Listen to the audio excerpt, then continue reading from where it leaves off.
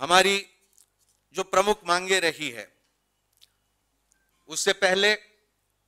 जो सभी 50 से अधिक लोग जिनकी मौत हुई, हम उनके परिवारों के प्रति अपनी संवेदना व्यक्त करते हैं। आम लोग हो, पुलिस के अधिकारी हो, जिसमें अंकित शर्मा शामिल है, पुलिस के कांस्टेबल एक उसमें शामिल है, ये तमाम लोगों के परिवारों के प्रति हम अपनी गहरी गहरा शोक व्यक्त करते हैं और ये उम्मीद करते हैं कि जो जख्मी है, वो जल्दी से जल्दी ठीक हो। लेकिन हमारी ये मांग रहेगी कि अनुराग ठाकुर, परवेश वर्मा, कपिल मिश्रा, अभय वर्मा, इनके ऊपर बगैर कोई समय और अधिक लेते हुए एफआईआर दर्ज हो और कानूनी कार्रवाई उन, उनके ऊपर शुरू होनी चाहिए। दो एसआईटी गठित करने का काम हुआ है, लेकिन एसआईटी से बहुत कुछ सामने आएगा। इस पर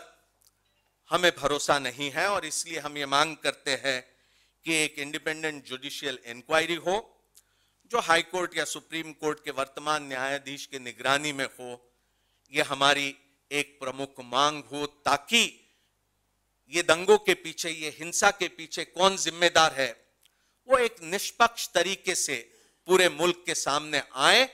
और इस तरह की घटनाएँ फिर ना हो, उस दिशा में कुछ हम कदम आगे बढ़ा सके। जो सरकारी अधिकारी, जो पुलिस के अधिकारी, जिन्होंने अपनी जिम्मेदारियों का निर्वहन ठीक ढंग से नहीं किया, उन पर भी तुरंत कार्रवाई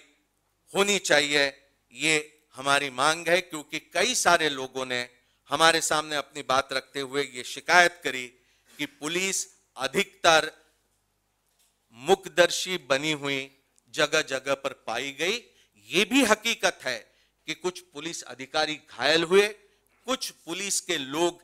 लोगों की मौत भी हुई, लेकिन ये भी उतनी ही हकीकत है कि पुलिस अधिकतर जगहों पर ये मुखदर्शी देखी गई और लोगों का विश्वास पूरी तरह से पुलिस पर का ये टूट चुका है। हमारे समाज के दो प्रमुख समुदायों में भी एक भारी अंतर और अविश्वास का माहौल बना हुआ नज़र आता है। और इसलिए हमारी ये और एक मांग है